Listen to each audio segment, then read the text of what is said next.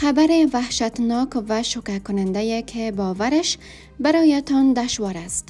در واقعیت عجیب است. خبر درگذشت مریم خورمی مجری سرشناس افغانستان که لرزه بر وجود علاقمندان این چهره سرشناس انداخته است. دلیل مرگ مریم خورمی از زبان شوهرش و چرا مریم خورمی درگذشت. ویدیو را تا آخر بیننده باشید و بعد از آن نظریاتتان را حتما در بخش کامنت با ما شریک نمایید. این ویدیو را لایک کنید و در ادامه با ما همراه باشید.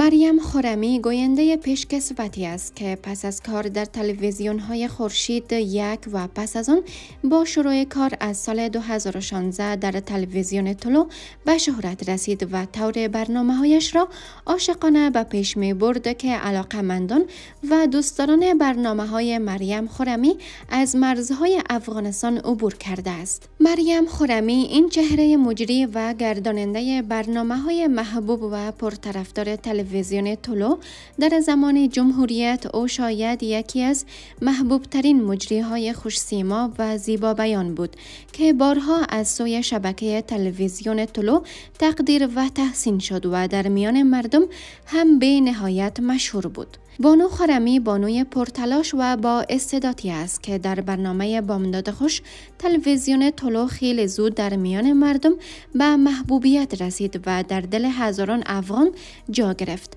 او بسیار خوش برخورد است و با هر کس شناخته و یا ناشناخته هم کلام می شود و بسیار صمیمی برخورد می کند که حتی گاه این موضوع برایش دردسرهای بزرگ ساخته و خیلی ها برخورد وی را برداشت سو کردن این موضوع باعث رنجش مریم خورمی می شد در صورتی که او ذاتا خانم خوش برخورد بود و منظور در دل نداشت و این رفتار او برای بقیه سوی تفاهم شده بود. شاید هم شایعات هم است که مریم خورمی می‌خواسته علاقمندان بیشتری به خود جلب کند.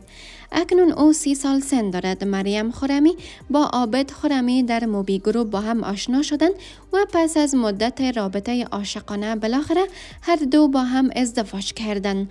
عابد خورمی شخص موفقی است که سالهای سال در رسانه های کشور ایفای وظیفه کرده است. وی همچنین زاده شهر کابل و از قوم هزاره بوده و سند لیسانسش را از دانشگاه کاردون در رشته بی بی ای اخذ نموده است. آنها اکنون صاحب صاحب دو فرزند پسر به اسمهای ایسا و عثمان می باشند. مریم خورمی به دلیل اینکه مادر دو طفل است در شبکه های اجتماعی کمتر ظاهر می شود. همچنین این بانوی موفق به زبان دری، پشتو، انگلیسی و اردو بلدیت کامل دارد. مریم خورمی یکی از گوینده های موفق زن افغان است که در یک خانواده روشنفکر دیده به جهان گشوده است. مریم خورمی در اصل از ولایت هرات باستان است ولی بزرگ شده تهران ایران می باشد. وی دوره تحصیلاتش را در کابل به اتمام رسانیده و پس از آن از رشته ژورنالیسم در دانشگاه مشعل فارغ شده است.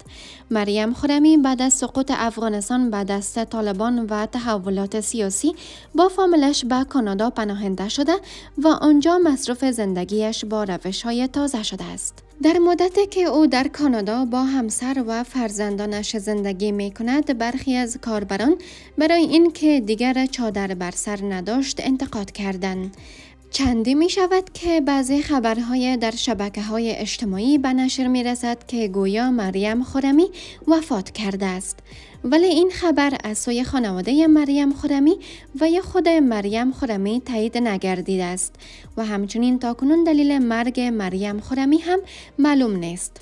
اما خبر حادثه ترافیکی مریم خورمی در صفحات اجتماعی دست به دست می شود که مریم خورمی در اثر یک حادثه ترافیکی جانش را از دست داده است. به اساس این گفته ها علت مرگ به توازن شدن موتر از دست مریم خورمی بوده که نتوانسته موترش را کنترل کند و به اثر همین کار جان شیرینش را از دست داده است. باید خاطر نشان کنیم که دوستان ما این خبر را تایید و یا تکذیب نمی کنیم.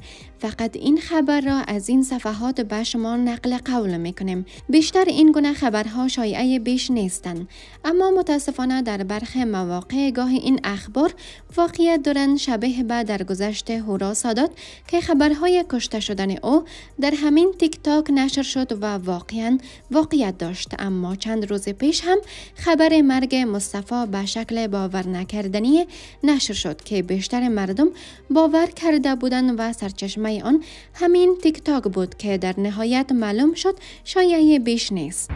یک جهان تشکر. اسمی که می‌بینین با شکرگزاری خداوند تا هنوز زنده هستم و دارم نفس می‌کشم. همونطور که شما عاشق زندگی و زنده ماندن هستین من هم زندگی و زنده ماندن دوست دارم. حالا همچون منابع مهم خبری در این باره خبر نشر نکردند پس به احتمال فراوان این هم یک شایعه دیگر از سوی کاربران بیکار در تیک تاک است. باز هم تاکید می‌کنیم که ما این خبر را تایید و یا هم تکذیب نمی‌کنیم.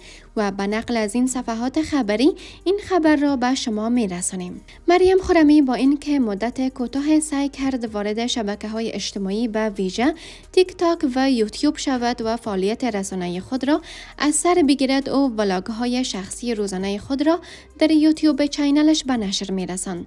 چندان استقبال خوبی از سوی علاقمندانش نشد و فعالیت خود را ممنوع ساخت. بعد از سقوط افغانستان و مهاجر شدن شمار زیادی از مجریها و کارکنان اهل رسانه به کشورهای دیگر شمار محدود بسیار از این گرداننده ها از رسانه فاصله گرفتند که این موضوع شامل خانم مریم خورمی نیز می شود یکی از شدیدترین انتقادها از خانم مریم خورمی همین موضوع برداشتن حجاب یا چادر از سوی برخی ها بود. که در این باره خانم نادیه نایاب دفاع کرد و گفت اگر علاقمندان مرا به خاطر چادرم دوست دارند من بعد نیاز نیست مرا دوست داشته باشند. عقاید هر کس مربوط به خودش است. و این همان پاسخ مریم خورمی به منتقدینش نیز بود. حالا که متاسفانه این خبر چند روزی است دامن زده می شود این نگرانی را در میان علاقمندان این چهره مردمی فراوان ساخته است. که مبادا اتفاق برای مریم خورمی رخ داده باشد. متاسفانه بیشتر این اخبار یا به قصد شهرت نشر می شوند یا هم موضوع دیگری در پس زمینه آن وجود دارد. طوری که مصطفی عزیزیار مجبور شد درباره این موضوع به صورت تصویری شایعه مرگ خود را تکذیب کند. با تکذیبی خبر و شما مردم عزیز زندگی لبریز از آرامش آرزو می کنم.